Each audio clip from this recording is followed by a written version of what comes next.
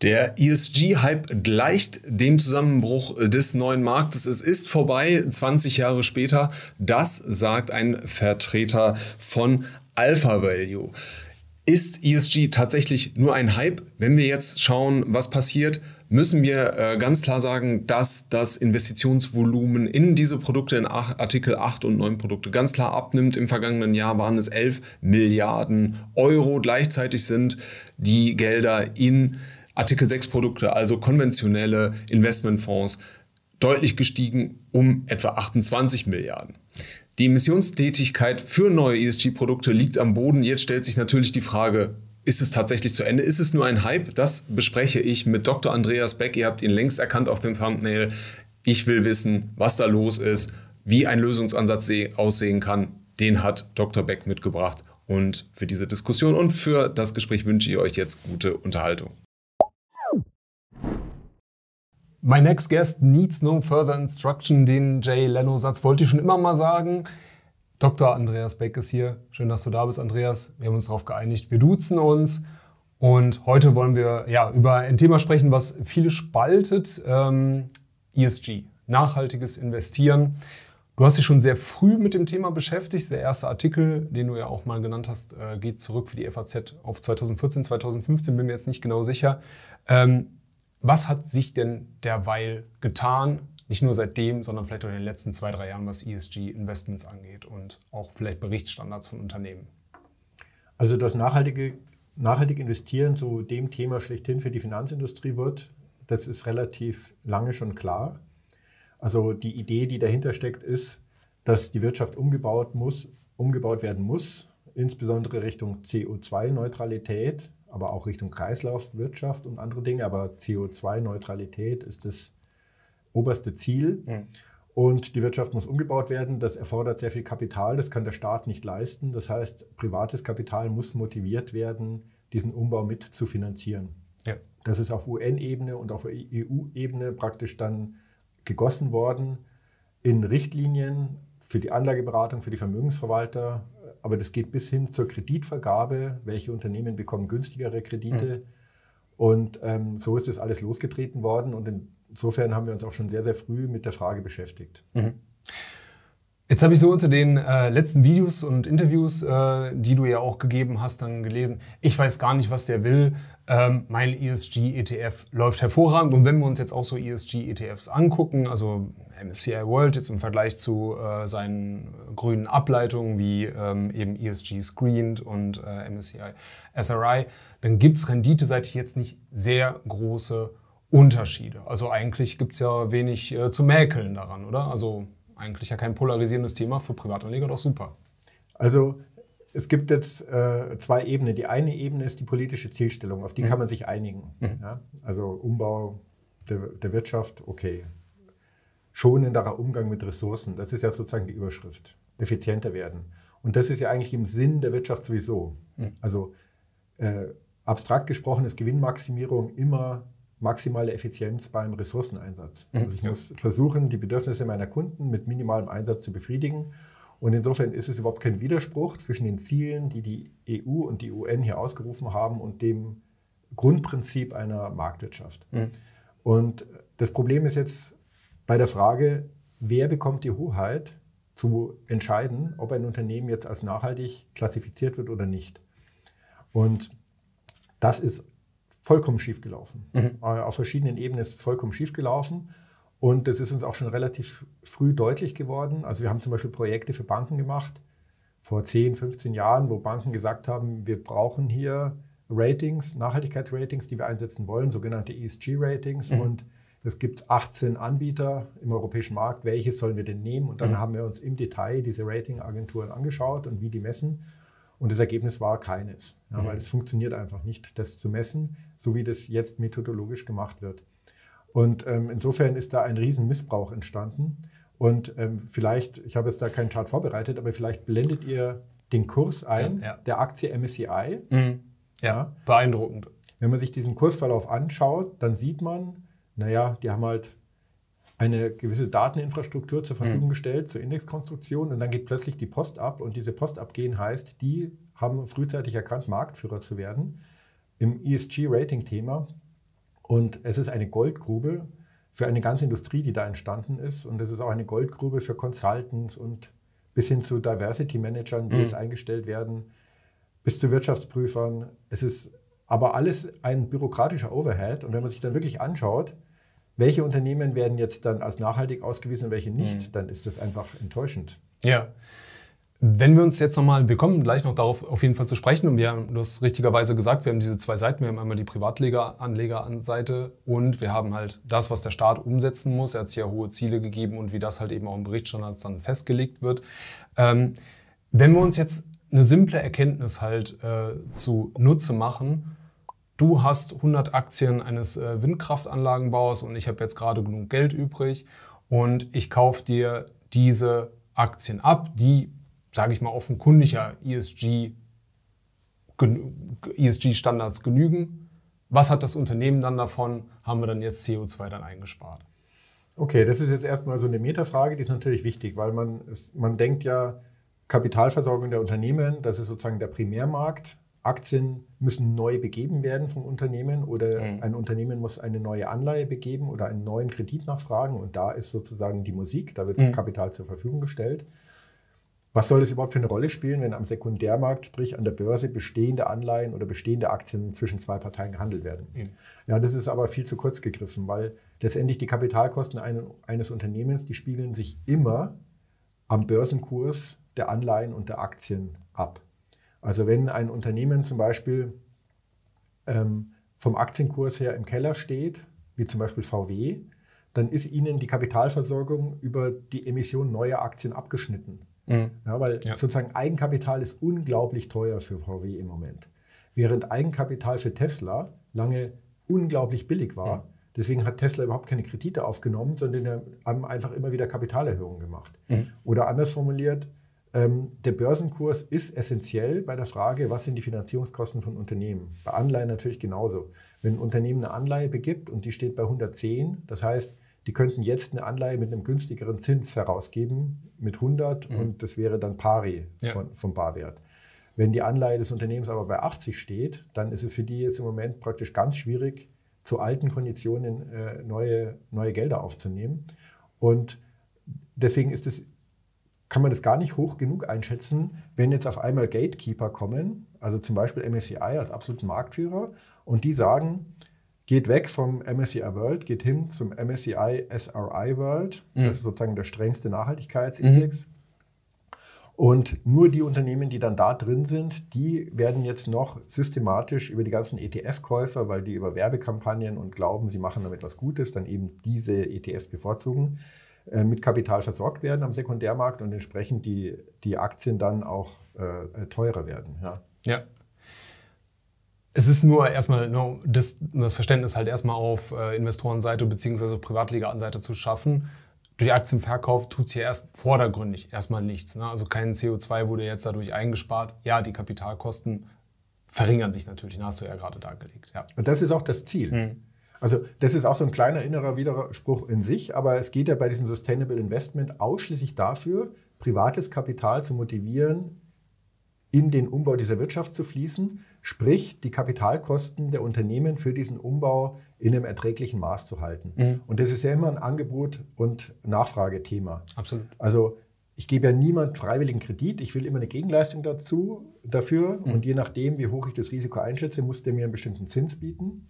Und jetzt kann die Bankenaufsicht zum Beispiel sagen, Banken, wenn sie einem Unternehmen, was als besonders nachhaltig klassifiziert ist, einen Kredit geben, dann müssen sie dafür weniger Eigenkapital hinterlegen und sie können den Kredit günstiger machen. Mhm. Ja, und sie können sagen, wenn ein Unternehmen besonders schlecht nachhaltiges Rating ist, dann müssen da noch zusätzliche Risikofaktoren berücksichtigt werden und dann werden die Kredite automatisch teurer. Ja. Und auf die Art und Weise glaubt man mit Sustainability Investment äh, Kapitalflüsse zu steuern und damit dann Unternehmen zu steuern. Also das ist immer nur ein sehr indirekter Weg. Mhm.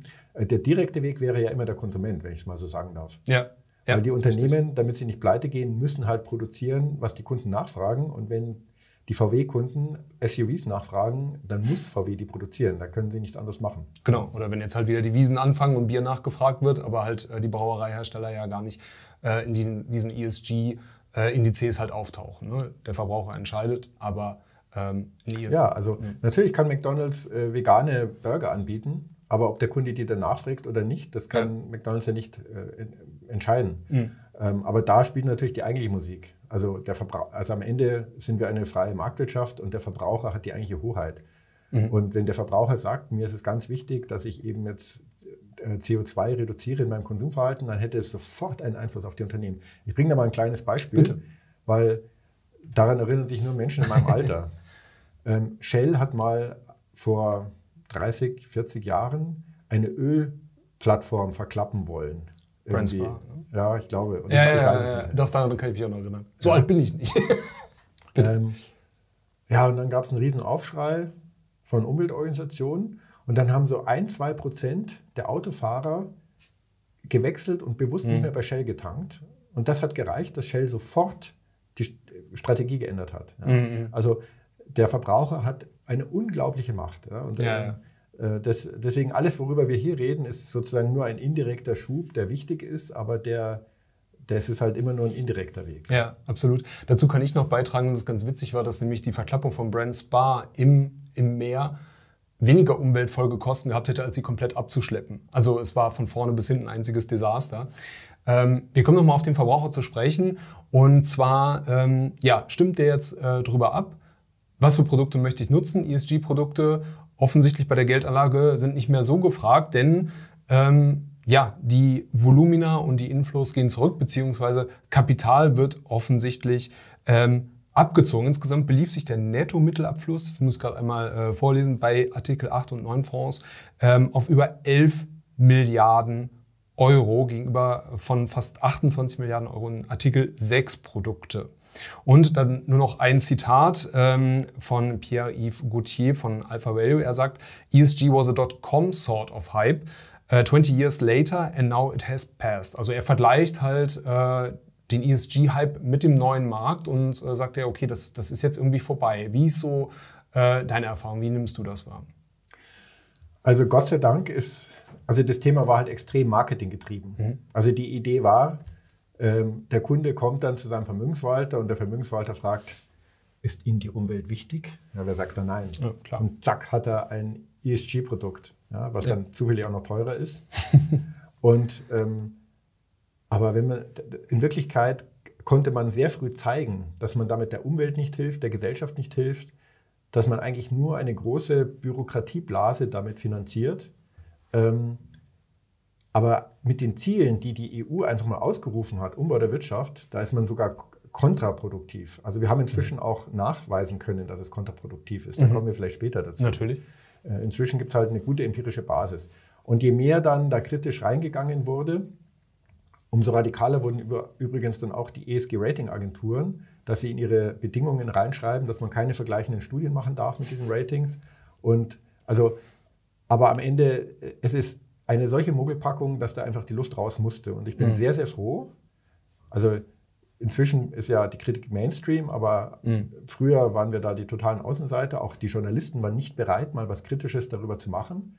Ja, weil die haben gesagt, ja, aber es ist doch besser als nichts und so. Nein, es ist halt schlechter als nichts. Mhm. Ja, weil das ist, aber in, inzwischen, okay, kann man offen darüber sprechen. Es gibt ganz hervorragende Analysen und Studien, die publiziert wurden in AAA-Journalen, wo man also richtig zeigen kann, es hat keinen positiven Effekt auf CO2-Reduktion, mhm. es hat keinen positiven Effekt für die Gesellschaft. Es ist eine Gelddruckmaschine für einen Bürokratieapparat, ähm, der uns alle noch ineffizienter macht und am Ende den Unternehmen das Geld wegnimmt, was sie eigentlich bräuchten für den Umbau. Und der Anleger hat auch nichts davon, weil die haben auch keine bessere Performance. Ja. Jetzt äh, sehen wir sogar noch, dass immer weniger ESG-Produkte halt auch aufgelegt werden. Jetzt im laufenden Jahr waren es ähm, im ersten Halbjahr, glaube ich, 100 äh, im Vergleich zu, jetzt müsste ich gerade einmal schauen, ähm, 566 im, äh, äh, Entschuldigung, ähm, 2023 wurden 566 ESG-Fonds aufgelegt, 2022 waren es 993 und äh, im Mai dieses Jahres waren es gerade einmal 16. Also Nachfrage nimmt ab. Klar, was wollen die äh, Investmentfirmen halt auch machen? Die reagieren natürlich, die bringen ja nicht noch mehr auf den Markt. Aber siehst du diese Sparte an Investments und Produkten dann jetzt als beendet? Also wirklich so schlimm, dass das wie ein neuer Markt, dass es halt vorbei ist? Oder wie haben wir das zu bewerten? Überhaupt nicht. Man kann sich gegen diesen Umbau der Wirtschaft nicht sperren. Aber ähm, es werden es wird jetzt eine Version 2 kommen mit einer anderen Methodologie, mhm. wie ich diese Ratings messe, also wie, mhm. ich, wie ich diese Ratings erstellen kann, wie ich hier messen kann. Ähm, da sind wir auch in sehr spannenden Projekten. Da ist sehr, sehr viel Bewegung im Hintergrund. Das sieht man jetzt noch nicht, weil es noch keine Produkte gibt in der Richtung. Aber sozusagen ESG 1.0 ist gescheitert, also wie die Dotcom-Blase. Aber mhm. das Internet hat sich ja trotzdem durchgesetzt. Ja. Und jetzt kommt eine erwachsene, andere Art, das zu messen, mhm so dass es auch rechtssicher implementierbar ist. Und auch die EU-Regulierung ist ja weitergegangen. Ja. Mhm. Das war ja bis jetzt Wilder Westen. Auch die stellt jetzt gewisse Anforderungen an eine empirische Nachweisbarkeit für die CO2-Reduktion und so weiter. Also, so dass auch da nachgezogen ist. Und es wird jetzt eine viel reifere äh, Lösung kommen und der äh, traue ich auch eine große Zukunft zu dann. Aber sozusagen dass dieser mhm. erste Schuss, ähm, wo für mich maßgeblich MSCI, SRI ist. Also für mich deswegen maßgeblich, weil ich bin ja Portfolio-Manager mhm. und man kann sich als Laie nicht vorstellen, welche Macht äh, dieses Unternehmen hat, weil eben fast alle Portfolio-Management-Systeme aufgebaut sind auf einer MSCI-Logik mhm. und deswegen haben die gar keine andere Wahl und können gar nichts anderes verwenden. Ja. Und diese Macht hat MSCI auch genutzt, es reinzudrücken mit ganz langfristigen, extrem teuren Lizenzverträgen. Ähm, und deswegen auch der Aktienkurs. Äh, und da, da muss man sich jetzt erstmal wieder freischwimmen von, aber das wird jetzt passieren. Ja. Würdest du jetzt sagen, das nimmt schon fast so protektionistische Tendenzen an, wenn wir jetzt uns äh, MSCI anschauen, die dann vielleicht sagen, ja, so eine VW weiß nicht, ob die jetzt so ESG geeignet ist, noch besser eine Tesla oder BYD, whatever you call it. Ähm, wie siehst du das? Also es gibt, es gibt drei, drei Schwachstellen. Und ähm, die erste Schwachstelle ist, dass die klassischen ESG-Ratings, wie sie jetzt eben verwendet werden, 800 verschiedene Kriterien mhm. messen. Die meisten davon müssen geschätzt werden. Mhm. Und letztendlich ja den Status quo anschauen. Das diskriminiert die produzierende Industrie. Mhm. Weil natürlich ein Unternehmen, welches Zement produziert, welches Stahl produziert, welches Maschinen produziert, das sind übrigens die Unternehmen, die sind entscheidend für den Umbau. Ja? Ja. Also dieser Umbau Richtung CO2-Neutralität ist ein Hardware-Thema. Da geht es um konkrete Produkte. Das mhm. ist kein Software-Thema. Mhm. Ja? Diese Unternehmen schneiden tendenziell bei diesen Ratings halt extrem schlecht ab, während Unternehmen, die gar kein Altgeschäft für den Umbau haben, Softwareunternehmen und so weiter, oder auch Neugründungen, die eben gar nichts zum Umbau haben, die schneiden gut ab mhm. bei diesen Ratings. Das heißt, es ist natürlich genau das, was das Gegenteil ist von dem, was die EU eigentlich wollte, die, den Umbau der Wirtschaft zu finanzieren, wird, der, wird sozusagen die, die Altindustrie äh, abgeschafft in der Hinsicht. Sieht man bei der Automobilindustrie. Mhm. Tesla, okay, die haben halt kein Altgeschäft. Dafür verkaufen sie CO2-Zertifikate, die die Automobilfirmen ja kaufen müssen, die mhm. noch alte Benziner bauen. Jetzt, wenn ich diese CO2-Zertifikate Tesla anlasten würde, dann wären die auch gleich natürlich überhaupt nicht mehr nachhaltiger. Also das, ist, das ja. zeigt, es ist halt völlig willkürlich, wie es gemessen wird.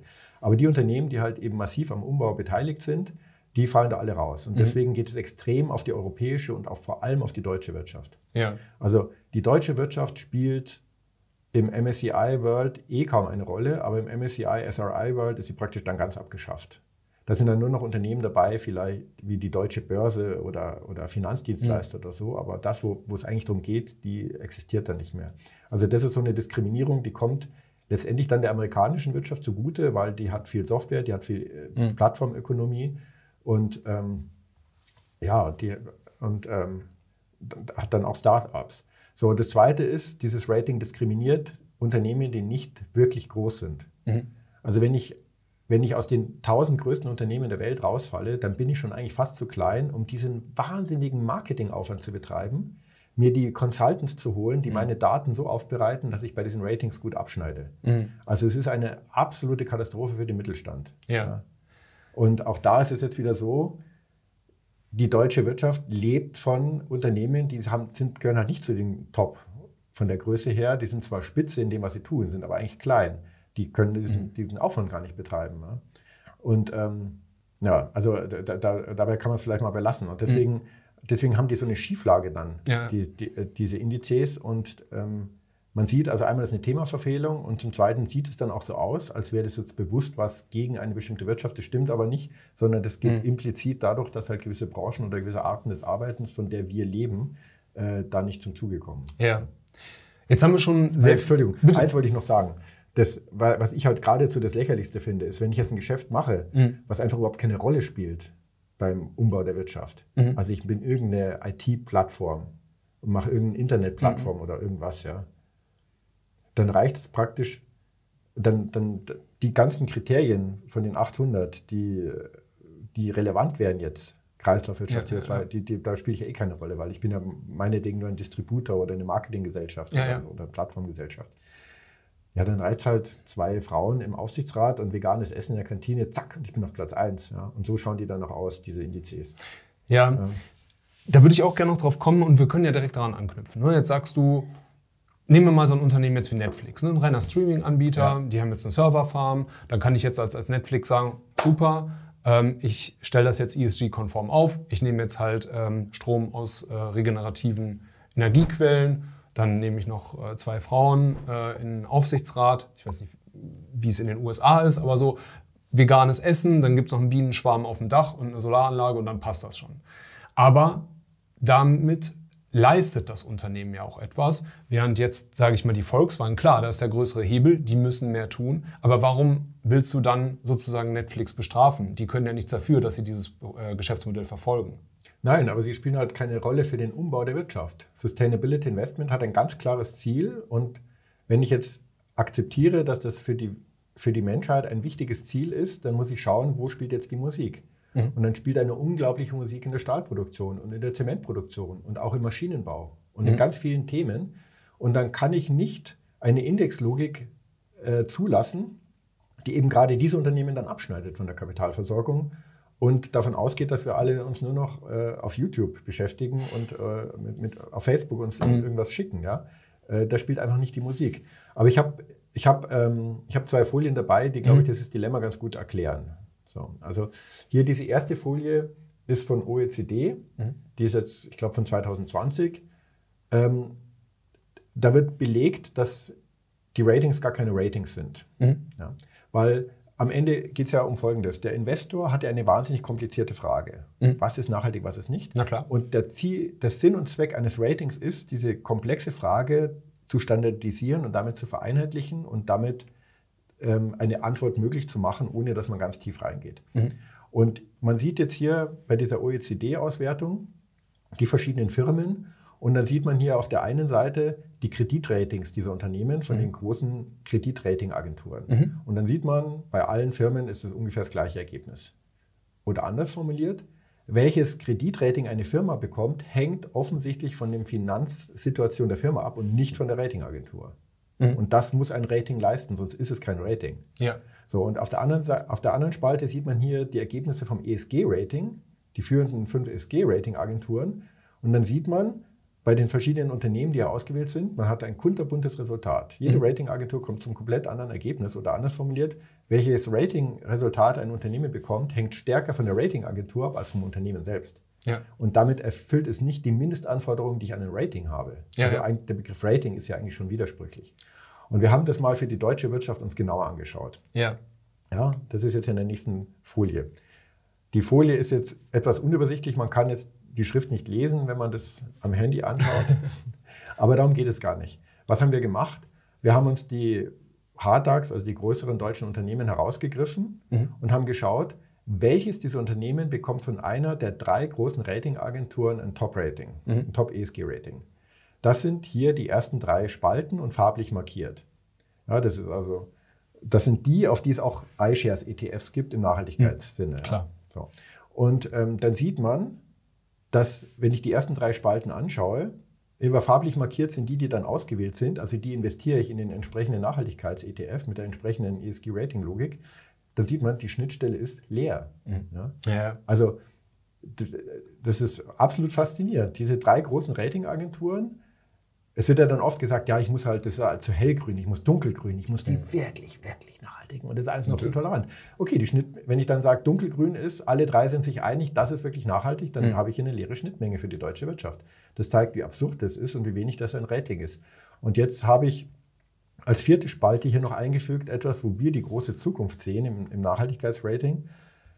Wir haben hier was anderes genommen. Wir haben eine ganz neutrale Datenbank genommen, nämlich die Patentdatenbanken. Darauf würde ich gleich noch kommen in der nächsten Frage. Lass uns vorgeschaltet noch einmal äh, darauf schauen, was wird denn geratet oder wie wird das gerankt? Also ich, wir haben jetzt gemeinsam, du bist Finanzvorstand, ich bin vielleicht CEO, wir haben eine Firma, ähm, wir machen jetzt eine vegane Kantine, wir haben einen Bienenschwarm auf dem, äh, auf, dem, auf dem Dach, wir haben aber keine Frau im Aufsichtsrat.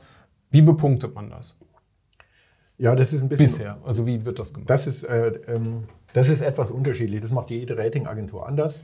Also als erstes würden wir uns einen Consult Consultant holen, der uns berät. Ja? Mhm. Weil zum Beispiel es gibt so eine Telefongesellschaft, die ist der Auffassung gewesen, ähm, ob ich beim Telefonieren jetzt äh, CO2 einspare, hängt davon ab, ob bei mir ein Telefonat weniger CO2 verursacht als im Branchenschnitt. Mhm. Eine andere, eine andere Telefongesellschaft ist ja auf die Idee gekommen mit einem guten Consultant, dass ich ja mit jedem Telefonat eine Autofahrt oder eine Flugreise vermeide. Und dass ich damit CO2 berechne. Gut, die einen waren halt dann top im, im Nachhaltigkeitsrating, die anderen waren halt ein Flop.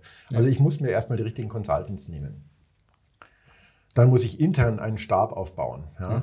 Ähm, also das die dann simulieren, sie würden CO2-Moleküle zählen nach irgendwelchen Methoden, die halt so sind, dass halt das Ergebnis gut passt. Ja, das ja. Ist, fast alles wird ja hier mit Schätzdaten gemacht. Naja, also ich, ich muss sozusagen, na, es, äh, wenn ich jetzt bis jetzt acht Abteilungen hatte in der Firma, brauche ich jetzt einfach eine neunte. So, ja. und, äh, ohne das geht es nicht. Und die ist dann darauf spezialisiert, designed to Rating. Ich muss mir dann aussuchen, welche Ratings will ich top sein und dann kann ich, dann muss ich halt sehen, okay, wenn ich jetzt da noch diese Stellgröße mache, dann hilft mir das und dann äh, komme ich da raus. Das ist ja auch, es gibt ja auch keine Ex-Post-Validierung. Mhm. Ja, das ist ja auch ganz entscheidender Punkt. Diese Kreditratings, die kann man ja auch kritisieren, aber die arbeiten sehr hochwertig und die, mhm. die sind halt auch überprüfbar. Weil wenn ein Unternehmen heute ein A-Rating hat und in einem Jahr ist es insolvent, dann sagen die Kreditgeber zur Ratingagentur, was habt ihr da gemacht? Und dann mhm. gibt es eine harte einen harten Konflikt, der ja, aufgelöst werden muss. Da sind offensichtliche Fehler passiert. Aber das gibt es ja bei ESG-Ratings gar nicht. Also wenn irgendein Unternehmen heute da ein Top-Rating hat, woran will ich denn morgen messen? Ja. Und da setzt du jetzt halt an und sagst, es gibt eine objektivere, validere, vergleichbarere Datenbasis und das sind Patente. Richtig? Also wir haben uns Folgendes überlegt. Dieses ganze nachhaltige Investieren ist in die Zukunft gerichtet. Mhm. Das heißt, ich muss mir anschauen, was, was sind die Pläne des Unternehmens für die Zukunft, um eben diesen Umbau der Wirtschaft zu leisten. Und da habe ich eigentlich nur zwei Möglichkeiten. Entweder ich produziere Marketingunterlagen, mhm. ja, und das ist halt auch unglaublich. Ich, ich, ich habe auch einen Anleihenfonds. Und mhm. jetzt zu jeder Anleihe, die emittiert wird, wird inzwischen auch ein Nachhaltigkeitsbericht. Mhm. Es ist, ich kann es nicht mehr sehen. Ja. Jedes Unternehmen stellt sich dar, als wäre der eigentliche Zweck dieses Unternehmens nur die Rettung der Welt. Und das sind solche Marketinghülsen. Ich kann es nicht mehr sehen. Okay.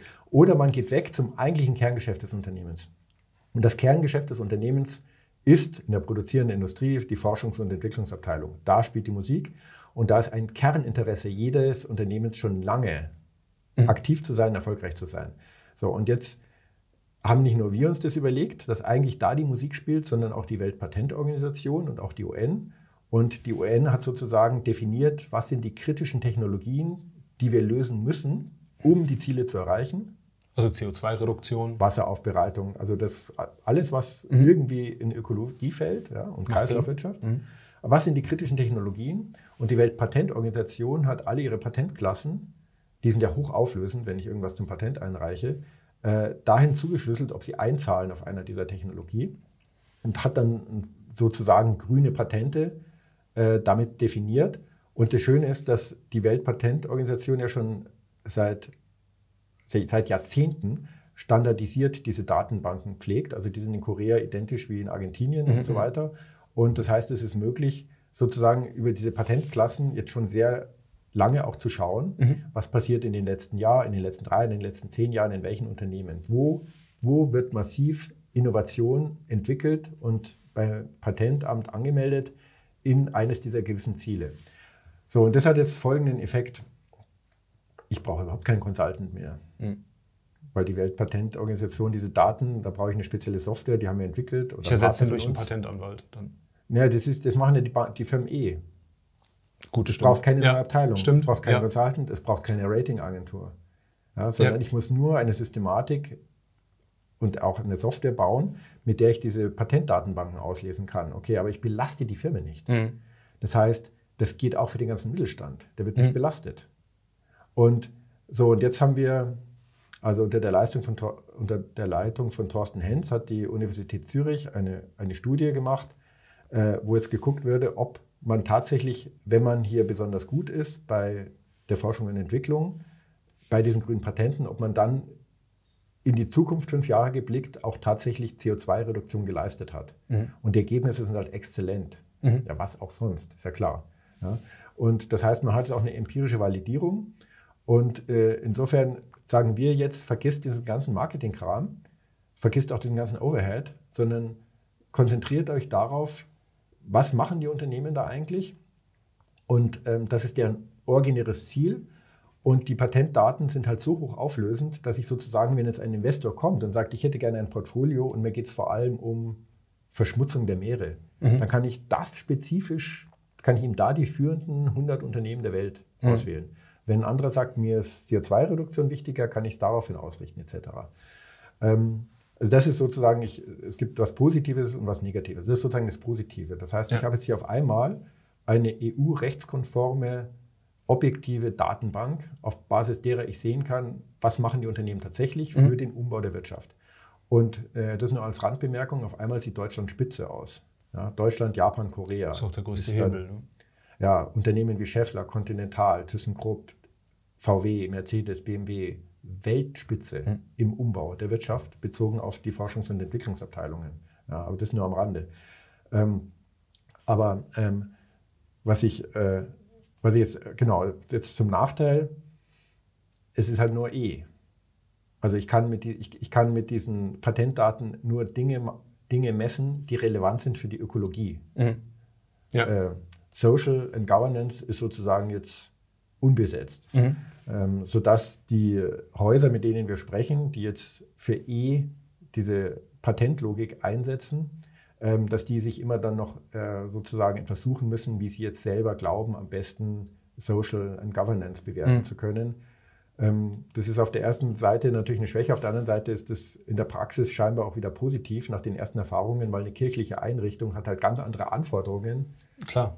Äh, an S und G als jetzt äh, ein, ein Unternehmerverband oder mhm. wie auch immer. Und insofern ist es vielleicht auch gar nicht so schlecht, weil E das Einzige ist, was ich wertneutral messen kann und mhm. alles andere hängt dann von den speziellen Werten ab, die jetzt jemand verfolgt.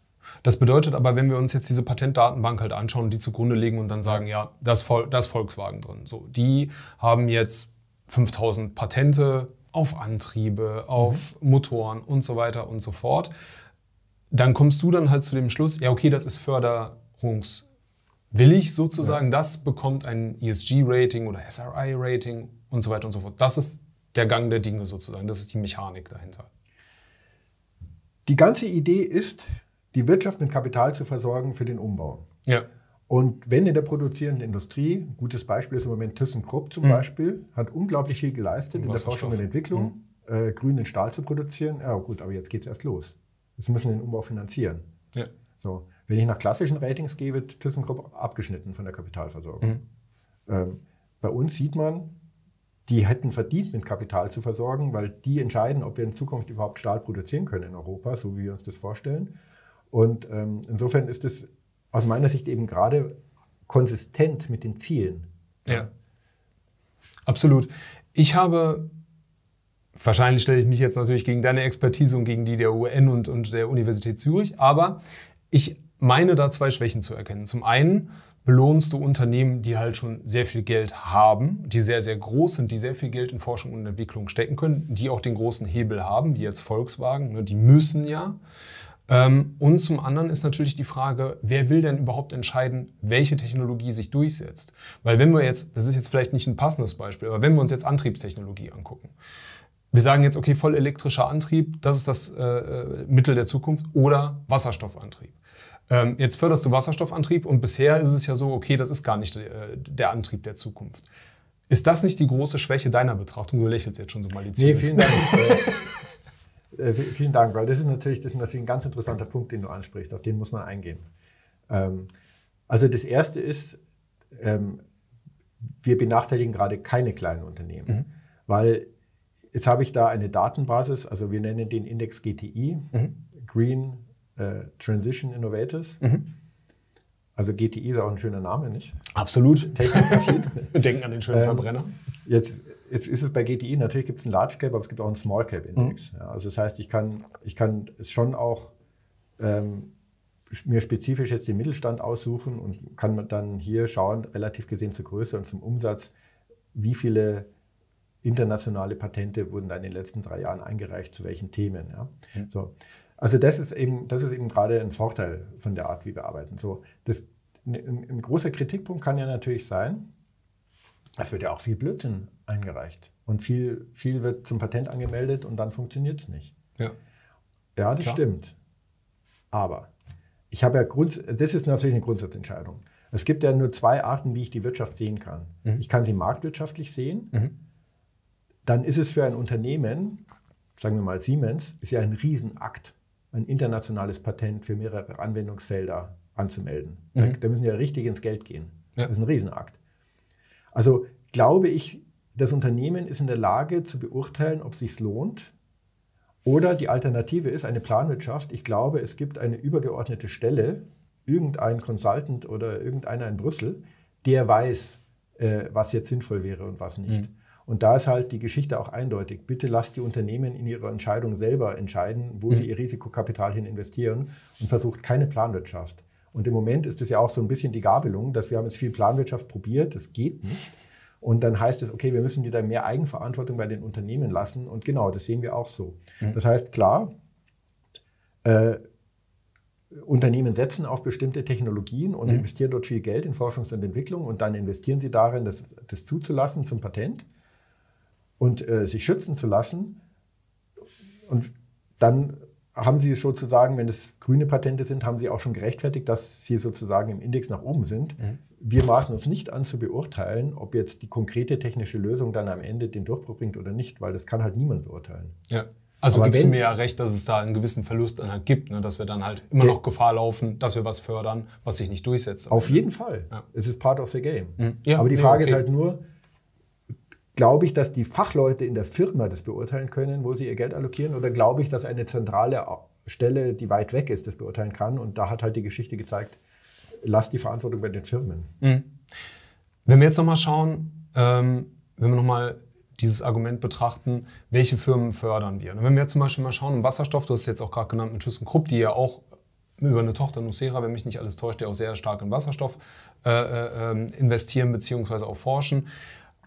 Unternehmen, die bei Wasserstoff arbeiten, entlang der Wertschöpfungskette, SFC Energy, Enapta, ähm, Norwegen fällt mir jetzt gerade Nell, ähm, die würden ja, sind jetzt auch teilweise keine deutschen Unternehmen, aber trotzdem bei dir ja rausfallen, weil die haben ja äh, im Prinzip ja keinen kein Hebel, sondern die machen ja schon. Die investieren schon in diese Produkte, die haben schon diese Patente, die sind dann ja vom äh, Geld abgeschnitten. Wer eine Forschungs- und Entwicklungsabteilung hat, schließt die nicht. Das ist auch etwas, was wir in den Daten ganz klar sehen. Mhm. Es gibt eine unglaubliche Konsistenz. Also entweder jemand ist da gut und bewegt was, dann wird er auch in drei Jahren, in sechs Jahren was bewegen. Also die Firmen, die jetzt da führend sind, äh, die werden, also die sind auch bei unserem Rating dann hochwertig und die werden in drei und sechs Jahren wahrscheinlich auch noch hochwertig sein. Es gibt mhm. Unternehmen, die wechseln, das schon, also die jetzt Felder neu für sich entdecken mhm. in der in, in, grüner Entwicklung, aber jemand, der da schon stark ist, der, der bleibt da eigentlich in der Regel auch stark. Also ähm, falls das die Frage beantwortet. Ja, ich denke schon. Ähm es gibt halt Unternehmen, die, also alles, was ich sage, es ist halt wirklich Hardware. Hardware, Hardware. Absolut. Hardware, ja. Es gibt natürlich Unternehmen wie eine deutsche Börse. Wie bewertet man die? Ja. ja. Ähm, klar, die haben auch vielleicht mal ein Patent, das irgendwie die weniger Energie verbrauchen äh, für, für dies oder jenes.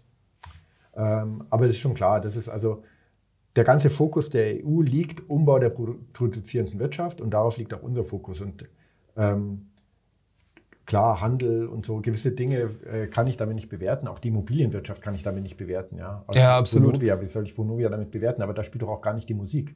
Die Musik spielt doch darin, jetzt neue Baustoffe zu entwickeln, damit Vonovia die dann einsetzen kann. Aber was, was, was soll das an Vonovia nachhaltig sein? Nein, klar. Worauf ich ja nur hinaus will, ist halt, dass ich halt das Gefühl habe, dass du Unternehmen belohnst, die jetzt halt klar darauf einzahlen, dass die deutsche Wirtschaft oder weltweit halt auch Richtung Null-Emissionen halt geht, aber andere dann ausschließt, die halt aber nur in, in ihrem eigenen Rahmen halt grün sein können, wie eine Netflix beispielsweise, indem sie halt sagen, okay, wir können dazu nichts beitragen, die Leute können unsere Produkte nicht nutzen, um CO2 einzusparen, sondern wir selber sparen CO2 ein. Und die sind dann die gekniffenen, darauf wollte ich halt nur hinaus. Das ist korrekt. Also Netflix spielt bei uns jetzt keine große Rolle. Nee, also im Ernst. Das ist, hm. Ich halte die auch für irrelevant für den Umbau der Wirtschaft Richtung CO2-Neutralität. Warum das ist auch so. eine Rolle spielen? Nee, klar, das ist auch so. Ja. Nur, wie gesagt, die haben halt dann keine Chance, ähm, dort gefördert zu werden. Aber okay, gut, das haben wir, das haben wir herausgearbeitet. Was ich jetzt noch sehr interessant fand, vielleicht als, als, abschließenden, ähm, als abschließenden Gedanken, es gibt ja Kompensationsprojekte. Ne? Und ich habe mir das immer so, ich bin kein gläubiger Mensch, aber es ist ja so ein bisschen der moderne Ablasshandel. Und jetzt habe ich zwar schon angefeatured, aber es gibt ja in Schweiz eine Fluglinie, die haben halt gesagt, okay, im Vergleich zu 2019 wollen wir die Emissionen ähm, halbieren bis 2030. Ich dachte mir, wow, äh, jetzt nur noch Segelflugzeuge oder haben die jetzt schon diese begehrten E-Fuels? Nein, die investieren in Wald und dann wird halt geflogen von Bali bis, äh, weiß ich nicht, Las Vegas, wenn die äh, da lang fliegt. Und es tut sich im Prinzip gar nichts, sondern es wird halt nur kompensiert. Ist das machbar oder beziehungsweise ist das noch okay? Ähm, wie kann man das aus Sicht eines äh, Finanzinvestoren dann halt überhaupt betrachten? Oder ist das einfach nur Comedy? Also es sind wahrscheinlich nicht alle Betrüger, aber es lädt halt wahnsinnig zu Betrug ein. Mhm. Ja. Also ich halte das für völlig überflüssig. Ja. ja und äh, du hast den Begriff Ablasshandel äh, genannt und äh, den verwenden wir eigentlich auch immer in unseren Präsentationen. Also mhm. wir vergleichen das dann immer mit dem Mittelalter und äh, was hat Luther gesagt? Wir müssen zurück zur Schrift. Und äh, so machen wir das dann auch. Wir gehen zurück zur Schrift. Das heißt, was war eigentlich das Ziel? Mhm. Und dann landet man bei Umbau und was ganz anderem, als dass ich da irgendwelche Pseudo-Zertifikate wieder eine neue Industrie aufbaue. Also da ist so viel, so viel Missbrauch unterwegs. Das ist, also ich, ich habe, äh, also was ich da jetzt auch schon mitbekommen habe und gesehen habe, es ist einfach die Nachhaltigkeitsindustrie ist nicht nachhaltig. Und mhm. zwar weder bei E noch bei S noch bei G. Mhm. Ja. Die ist nicht nachhaltig. Also wenn ich etwas nachhaltig machen möchte, dann sollte ich gerade diese Industrie boykottieren. Okay. Als abschließenden Gedanken dann oder als abschließende Frage, was rätst du dann Privatanlegerinnen und Privatanlegern? Um ESG jetzt einen Bogen machen, ist das Unsinn oder ähm, ja, ist das trotzdem noch ein valides Investment? Das ist ein wichtiges Thema und das ist auch legitim, dass einem das am Herzen liegt und das ist auch in jeder Hinsicht zu begrüßen. Also auch gerade institutionelle und so, für die ist das halt ein essentielles Thema.